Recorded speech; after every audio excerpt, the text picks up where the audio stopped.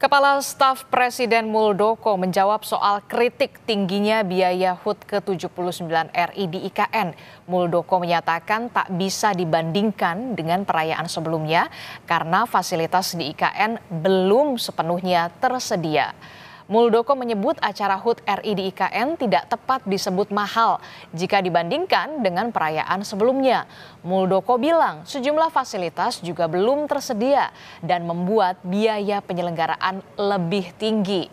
Muldoko juga menegaskan biaya mahal untuk HUT ke-79 di IKN bisa dinikmati masyarakat bawah.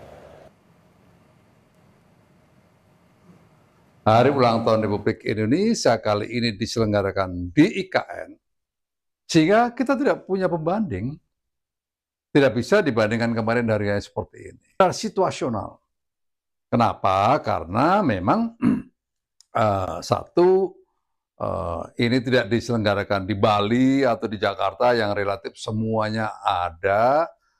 Uh, berikutnya kita selenggarakan di sini yang relatif semuanya belum terpenuhi. Apa pun uh, harga itu dikatakan mahal, tetapi sesungguhnya ya, masyarakat bawah yang menikmati.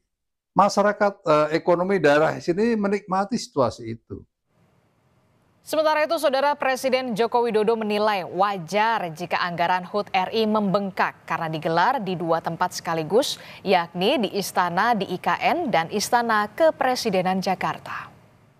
Pak. Transisi energi di masa jabatan Pak? Biasa, wajar dan juga uh, anggarannya di Kementerian Sektek. Tapi Pak transisi energi